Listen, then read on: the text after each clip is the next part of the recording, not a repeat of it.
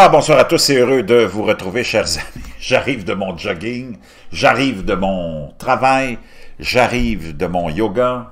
J'étais un petit peu décoiffé, mais en pleine forme.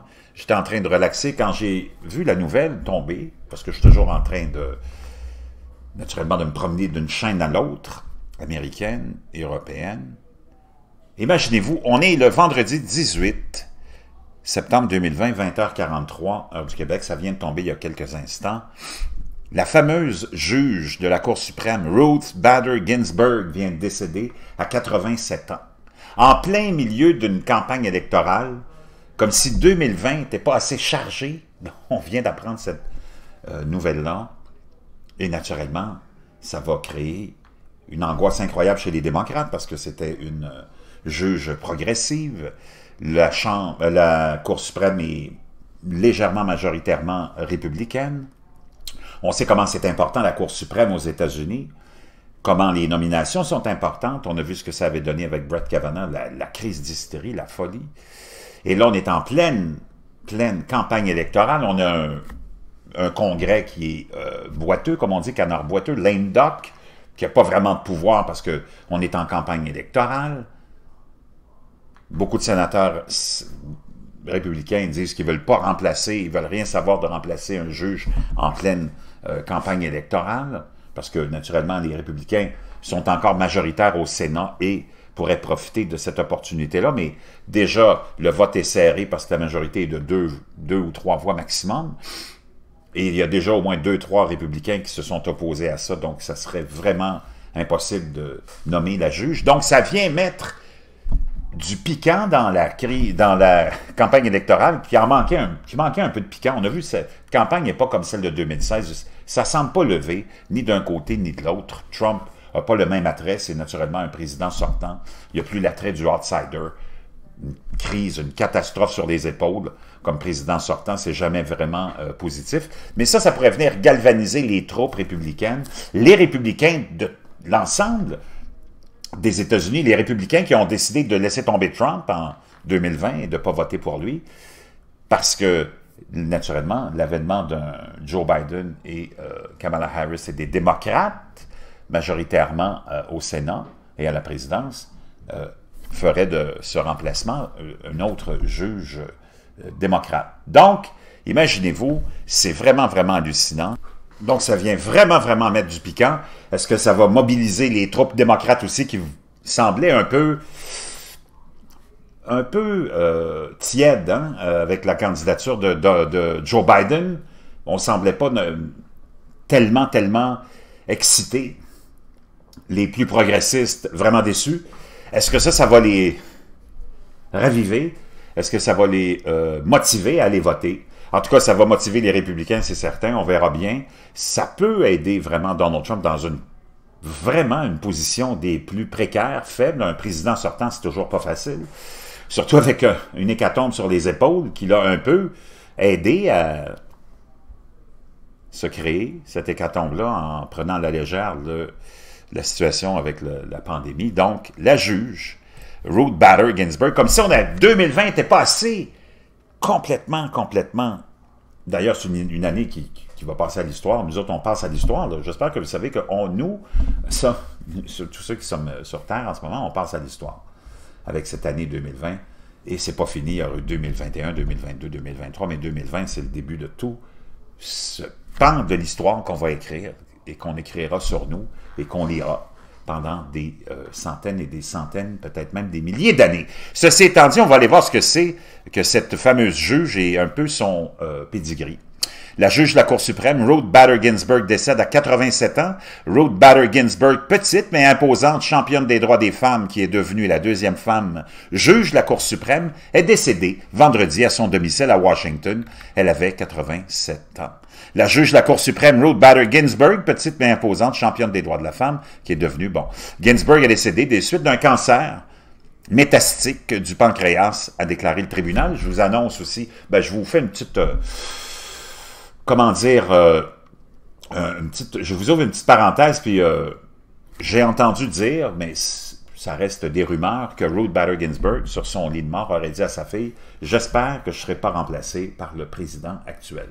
Juste comme ça, OK? Sa mort un peu plus de six semaines avant le jour du scrutin est susceptible de, déclencher une bataille houleuse sur la question de savoir si le président Donald Trump devrait nommer et le Sénat dirigé par les républicains devrait confirmer son remplacement ou si le siège doit rester vacant jusqu'à l'issue de sa course contre les démocrates Joe Biden. Le juge en chef John Roberts a pleuré le décès de Ginsburg. Notre nation a perdu un juriste de stature historique à la Cour suprême. Nous avons perdu un collègue très cher. Aujourd'hui, nous pleurons, mais avec la certitude que les générations futures se souviendront de Ruth Bader Ginsburg, telle que nous l'avons connue, une championne infatigable et résolue de la justice, a déclaré Roberts dans un communiqué. Ginsburg a annoncé en juillet qu'elle euh, suivait un traitement de chimiothérapie pour des lésions au foie, la dernière de ses nombreuses batailles contre le cancer. J'ouvre une autre parenthèse ici pour vous dire que lorsque Barack Obama était euh, président dans son deuxième mandat, déjà Ruth n'était pas très très jeune, hein, était dans les débuts 80, le président euh, Obama, avec des conseillers, lui avait proposé de prendre sa retraite pour que le président Obama, justement, un démocrate, puisse la remplacer par quelqu'un de plus jeune, ce qui, ce qui assurerait naturellement une pérennité à ce siège euh, de la Cour suprême, siège démocrate, mais chose qu'elle n'avait pas euh, acceptée. Donc aujourd'hui, on se retrouve dans cette situation-là. Ginsburg a passé ses dernières années sur le banc en tant que chef incontesté de l'aile libérale progressiste de la Cour et est devenue une sorte de rock star pour ses admirateurs. Les jeunes femmes en particulier semblaient embrasser la grand-mère juive hein, de la Cour, l'appelant affectueusement GBR pour sa défense des droits des femmes et des minorités et la force et la résilience dont elle faisait preuve face aux petites euh, aux pertes personnelles et aux crises de santé. Ces problèmes de santé comprenaient cinq épisodes de, cancer à partir de 1999, des chutes ayant entraîné des côtes cassées, l'insertion d'un stent pour dégager une artère bloquée et diverses autres hospitalisations après l'âge de 75 ans. Donc une guerrière, une femme quand même qui a été solide. Hein. Elle voulait pas mourir, elle voulait pas mourir, elle voulait tenir bon jusqu'à l'élection, mais finalement, elle n'a pas pu euh, tenir. Elle a résisté aux appels des libéraux à prendre leur retraite. Voyez-vous, on vous raconte ça, je ne l'avais même pas lu. Pendant la présidence de Barack Obama, à un moment où les démocrates détenaient le Sénat et un remplaçant avec des vues similaires aurait pu être confirmé. Au lieu de cela, Trump essaierait presque certainement de pousser le, successeur de Gainsburg à travers le Sénat contrôlé par les républicains et de déplacer la Cour conservatrice encore plus vers la droite, parce que déjà on est à 5-4. Il y a neuf juges sur la Cour suprême, il y a cinq juges qui, sont, qui ont été nommés par des conservateurs, par les républicains. Donc on a une majorité, mais John Roberts étant plutôt centriste, ça donne presque une égalité. Ginsburg a contrarié Trump lors de la campagne présidentielle de 2016 dans une série d'entretiens médiatiques, notamment en le traitant de faux. Elle s'est bientôt, naturellement, excusée. Sa nomination par le président Bill Clinton en 1993 était la première par un démocrate en 26 ans. Elle a d'abord trouvé un foyer idéologique confortable quelque part à gauche du centre, sur un tribunal conservateur dominé par des personnes nommées par les républicains. Sa voix libérale devenait plus forte au fur et à mesure qu'elle servait Gainsbourg était une mère de deux enfants, une passionnée d'opéra et une intellectuelle qui a regardé les arguments derrière des lunettes surdimensionnées pendant de nombreuses années, bien qu'elle les ait abandonnées pour des montures plus à la mode dans ces dernières années. Lors des séances d'argumentation dans la salle d'audience ornée, elle était connue pour fouiller profondément dans les dossiers et pour être une persévérante dans le respect des règles. Elle a plaidé six affaires clés devant le tribunal dans les années 70 elle, alors qu'elle était l'architecte du mouvement des, droits des femmes, elle en, a rapporté, elle en a rapporté cinq. Ruth Bader Ginsburg n'a pas besoin d'un siège à la Cour suprême pour mériter sa place dans les livres d'histoire américains, a déclaré Clinton au moment de sa domination. Elle l'a déjà fait. Au tribunal, où elle, était connue comme un écrivain facile, ses opinions majoritaires les plus significatives étaient la décision de 1996 qui ordonnait au Virginia Military Institute d'accepter des femmes ou de renoncer à son financement par l'État et la décision de 2015 qui confirmait les commissions indépendantes que certains États utilisent pour dessiner des districts du Congrès. Outre les droits civils, Ginsburg s'est intéressé à la peine capitale, votant à plusieurs reprises pour limiter son utilisation. Au cours de son mandat, le tribunal a déclaré inconstitutionnel pour les États, d'exécuter des handicapés intellectuels et des tueurs de moins de 18 ans. De plus, elle a mis en doute la qualité des avocats des pauvres meurtriers accusés dans les affaires les plus controversées, y compris la décision Bush contre Gore en 2000. Elle était souvent en désaccord avec les membres les plus conservateurs de la Cour, initialement le juge en chef William H. Rehnquist et les juges Sandra D. O'Connor, Anthony Scalia qui est décédé, et Anthony M. Kennedy et Clarence Thomas.